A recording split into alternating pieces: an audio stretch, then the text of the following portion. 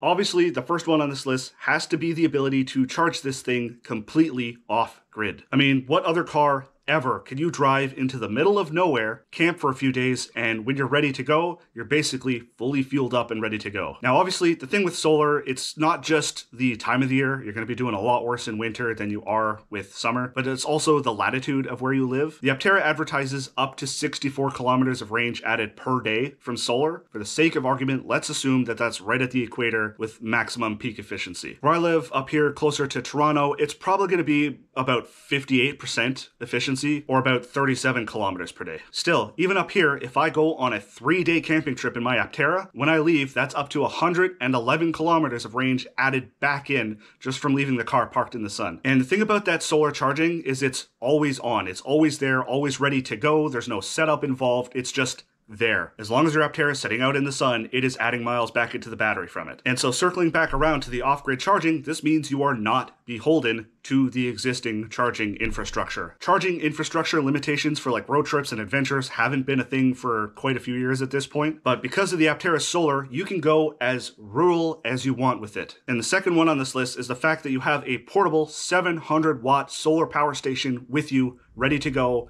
wherever you want. So, I mean, there's the obvious stuff like being able to charge your phone, your laptop, your tablets without having to dig into the car's battery at all. But then there's the even larger stuff, things like like full-size e-bikes, charging those up, or powering CPAP machines, or keeping electric chainsaws charged, or even running your Starlink 24/7 if you need to maintain connectivity. You can also run standard camp electronics pretty much indefinitely, things like fridges, cooking stoves, and even heaters, and still stay neutral or even still positive on your Aptera's charge level. All of that you can run pretty much indefinitely as long as you balance the power used with the amount of power coming back in from the solar. You can even use the Aptera itself for sleeping in, since much like a Tesla, it'll have a version of camp mode letting you run the HVAC overnight to keep it warm during the cold winters or cool during the hot summers, and all of the power used for climate control gets balanced back during the next day from the solar input. And the third thing is having that solar as a backup in case the power goes down wherever you are. If you frame the Aptera in your mind as a giant battery station, you start to think of some really interesting use cases for it. I think people are really sleeping on the emergency preparedness aspect of what the Aptera offers. Like, although you might not be planning to rely on the Aptera's solar power, you still have that at your fingertips. It's just there and ready to go at a moment's notice. And we're not just talking about out on the go, like at camp either. You can use it as a home backup system as well. And so as long as you balance the power you're using, whether it's just a quick 24 hour blackout or weeks of no power, the Aptera has you covered for backup emergency power. And then on the flip side, if the power does go out while you're at home, well, with the Aptera's built in solar, it could still charge even without any power to your home. So you can keep it topped up to do local errands that you still have to do, or in an emergency situation where you need to leave, you don't have to worry about if it has enough charge or not to get you out of that emergency situation. The Aptera is basically as self-sufficient of a vehicle as you can get with no reliance on any outside power source. And the fourth thing I wanted to talk about is how much money you save, and I'm not just talking about your daily average commuting, but on road trips. Every day that the Aptera is sitting out in the sun charging is money put back into your wallet, and I mean, if you're charging at home, the Aptera is already super cheap to run because of how efficient it is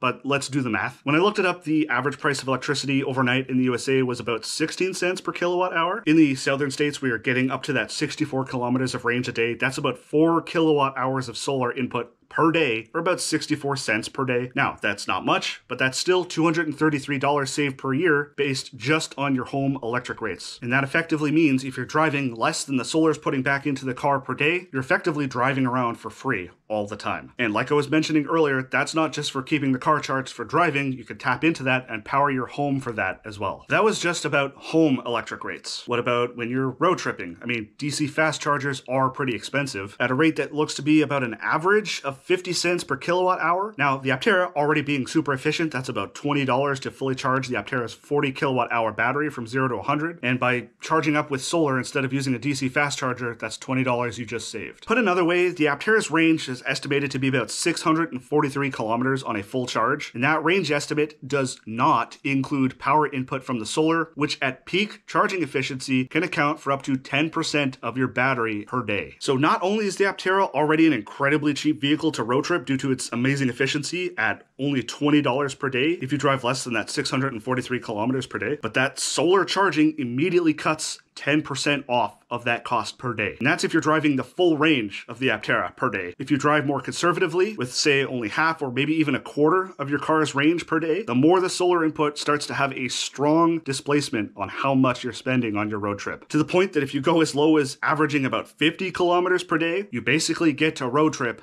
for free. And the fifth one on the list, and one that I don't feel is talked about nearly enough, is the fact that the solar is expandable. This entire video has just been about the built-in 700 watts of solar on the car. But there's the very extremely underappreciated feature of the car that nobody really talks about, and that's that the Aptera will have a jack for expanding with additional solar panels with the ability to add up to a total 1,500 watts of total solar input, more than doubling your capacity. This means that even here close to Toronto, that's up to 79 kilometers a day of solar. Down south, closer to the equator, that's up to 138 kilometers every day. That's over 21% of the car's battery charged up per day, five days to go from zero to 100. So with an average of 100 kilometers of driving per day, you can road trip without having to be anywhere near an outlet of any kind. No power source, none whatsoever. So, are you starting to see why I'm so excited for the Aptera? I can't wait to get my hands on one. I feel like these things are so underrated. I've had mine reserved for a while now. If you're interested,